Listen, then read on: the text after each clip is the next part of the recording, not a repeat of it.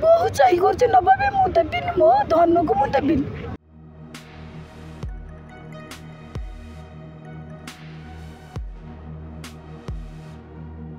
ଗୋଟିଏ ମୃତଦେହ ପାଇଁ ଦୁଇ ପତ୍ନୀଙ୍କ ମଧ୍ୟରେ ଝଗଡ଼ା। କଟକ ଏସ୍ସିବି ମେଡିକାଲର ଜଣେ କନେଷ୍ଟବଳଙ୍କ ମୃତ୍ୟୁ ପରେ ମୃତଦେହ ନେବା ପାଇଁ କନେଷ୍ଟବଳଙ୍କ ଦୁଇ ସ୍ତ୍ରୀ ଏବଂ ମାଙ୍କ ମଧ୍ୟରେ ଟଣା ଓଟରା ମୃତଦେହ ନେବା ପାଇଁ ଏସ୍ସିବି ମେଡିକାଲ ଶବଗୃହ ନିକଟରେ ଉଭୟଙ୍କ ମଧ୍ୟରେ ପାଟିତୁଣ୍ଡ ହୋଇଛି।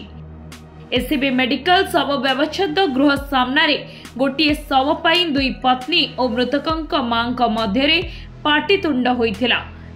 କଟକ ଫୁଲନଖରା ସ୍ଥିତ ଏନ୍ଏଚ୍ ଟ୍ରାଫିକ୍ର କନେଷ୍ଟବଳ ଭାବେ କାର୍ଯ୍ୟ କରୁଥିଲେ ଖୋର୍ଦ୍ଧା ବେଗୁନିଆ ଅଞ୍ଚଳର ଅଭୟ କୁମାର ବେହେରା। ଗତ ଶନିବାର ଅଭୟ ଏକ ଦୁର୍ଘଟଣାରେ ଗୁରୁତର ହୋଇ କଟକ ଏସ୍ସିବି ମେଡିକାଲରେ ଚିକିତ୍ସିତ ହେଉଥିଲେ। ତେବେ ଆଜି ସକାଳେ ଅଭୟଙ୍କ ମୃତ୍ୟୁ ପରେ ତାଙ୍କ ମୃତଦେହ ନେବା ପାଇଁ ମେଡିକାଲରେ ପହଞ୍ଚିଥିଲେ ତାଙ୍କ ପ୍ରଥମ ସ୍ତ୍ରୀ ଦ୍ୱିତୀୟ ସ୍ତ୍ରୀ ଏବଂ ପରିବାର ଲୋକେ। ଯାହାକୁ ନେଇ ଅଭୟଙ୍କ ମା ଏବଂ ତାଙ୍କ ପ୍ରଥମ ସ୍ତ୍ରୀଙ୍କ ମଧ୍ୟରେ ଟଣା ଓଟରା ଲାଗିଥିଲା।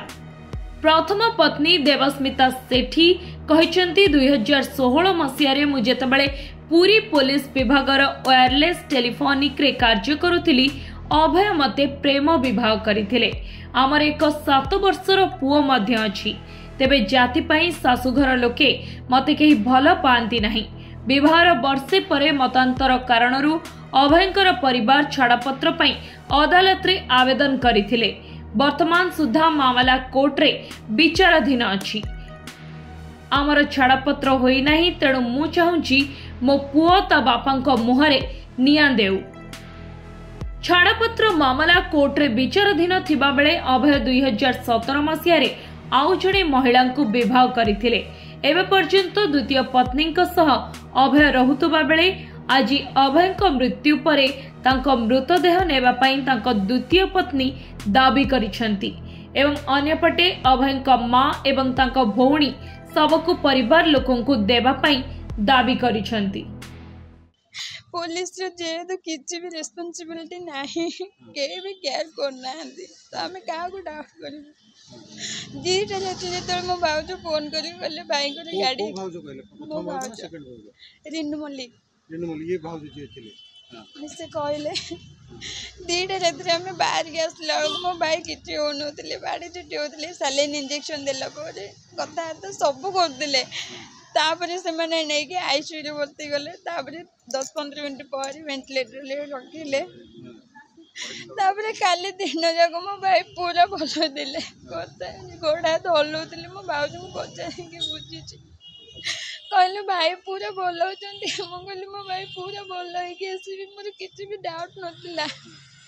ତାପରେ ଡ୍ରେସ୍ ପରେ ସିଏ ତାଙ୍କ ସହିତ ମୋର କିଛି ବି ଲେନଦେନ ନାହିଁ। ସିଏ କିଏ ମୁଁ ଚିହ୍ନିନି ଜାଣିନି। ତାଙ୍କ ସହିତ ମୋ ଭାଇଙ୍କର ନା ଲେନଦେନ ଥିଲା ନା ମୋ ସହିତ କିଛି ଲେନଦେନ ନା ମୁଁ ଡିଭୋର୍ସ କ'ଣ ପାଇଁ ଆପଣଙ୍କ ଭାଇ ଫାଇଲ୍ କରିଥିଲେ କୋର୍ଟରେ ସେ ସେଇଟା ତାଙ୍କର ପର୍ସନାଲ ମ୍ୟାଟର ନା ଥୋଡ଼ି ମୁଁ କହିପାରିବି କି ଆପଣ କହିପାରିବେ କି ଆପଣଙ୍କର ପର୍ସନାଲ ମ୍ୟାଟର ଭିତରେ ଆଉ କେହି କହିପାରିବେ? ତଥାପି ଆପଣ ଭଉଣୀ ହିସାବରେ କ'ଣ କ'ଣ ହିସାବରେ ମୁଁ ଯେତିକି ଜାଣିଥିଲି ମୁଁ ତାଙ୍କର କ'ଣ ଡିଷ୍ଟର୍ବାନ୍ସ ହେଇଥିଲା ମୁଁ ଜାଣିନି। ପୁଅ ଠାଇକି ରହିଲା ବୋଉ ଠାଇକି ରହିଲା ମୋତେ ପଚାରିଲେନି। ଆଜି ଯେହେତୁ ମାନେ ମୋର ଗୋଟେ ବେଲି ପୁଅ ମୋର ଯେହେତୁ ମାନେ ମୋ ପୁଅକୁ ମୋ ଜୀବନ ଇଏରେ ମୁଁ ନଡ଼ିଛି ଯେହେତୁ ମାନେ ମୋ ପୁଅକୁ ମୁଁ ଦେଇଛି ମାନେ ମୋ ପୁଅକୁ ମୋତେ ରିଟର୍ଣ୍ଣ କରିଦିଅନ୍ତୁ ମୁଁ ଗାଁକୁ ନେଇକି ଯିବି। ତାଙ୍କ ଭିତରେ କ'ଣ ହେଇଛି? ମୁଁ ତ ଗାଁରେ ରହେ ସିଏ ତ ଏଠି ରହନ୍ତି ମୁଁ ଏକଥା ମୁଁ କହିପାରିବି ଏବେ କ'ଣ ଚାହୁଁଛି? ବୋହୁ କହୁଛି ମୁଁ ଡେଡ୍ ବଡି ନେବା ପାଇଁ ପୁଅର। ବହୁତ ଚାହି କରୁଛି ନେବା ପାଇଁ ମୁଁ ଦେବିନି ମୋ ଧନକୁ ମୁଁ ଦେବିନି। ମୋ ଧନକୁ ମୁଁ ଗାଁକୁ ନେଇକି ଯିବି ଆପଣମାନେ ଯେତେବେଳେ ସୋ- ଯେତେବେଳେ ଏସି ଭିତରେ ଯାଇକି ଯେତେବେଳେ ଭର୍ତ୍ତି କଲେ ଅକ୍ସିଜେନ୍ ଯେତେବେଳେ ଲଗେଇଲେ ଆପଣ ତାକୁ ଡାକିଦେଲେ କି?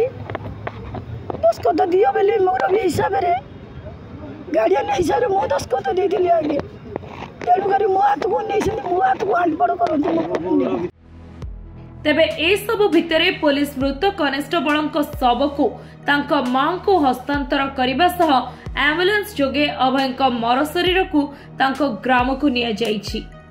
ଦ୍ୱିତୀୟ ମହିଳା ବିଷୟରେ ତ ମୁଁ କହିପାରିବିନି। ଯେଉଁ ଭଉଣୀ ଜଣକ ଆପଣଙ୍କୁ ପ୍ରଥମେ ବାଇଟ୍ ଦେଲେ ସିଏ ହେଉଛନ୍ତି ତାଙ୍କର ସ୍ତ୍ରୀ ଆଉ ତାଙ୍କର ଗୋଟେ ସାତ ବର୍ଷର ପୁଅ ଅଛି। ତାଙ୍କ ସ୍ତ୍ରୀର ଆପଣ କଣ That's ହେବେ? it. ତାଙ୍କର କଣ ମ୍ୟାଡ଼ାମ ମୁଁ ତାଙ୍କ ବଡ଼ ଭଉଣୀ ହେବି। ଆଚ୍ଛା ବଡ଼ ଭଉଣୀ ହେବେ ତେବେ ମ୍ୟାଡ଼ାମ ଏସବୁ ଭୁଲ କଥା ସ୍ୱାମୀଙ୍କଠୁ ଭଲରେ ମନ୍ଦରେ ନାହିଁ ତାଙ୍କ ଭିତରେ ବି କଥାବାର୍ତ୍ତା ରହୁଥିଲା।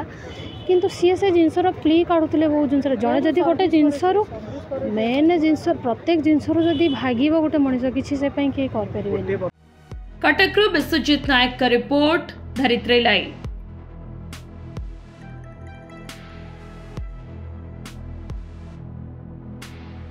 Hello 10th examinees. Are you searching for a school with integrated coaching? Join TNC Gurukul associated with its academic learning partner, Physics Wala. Call 9438782020.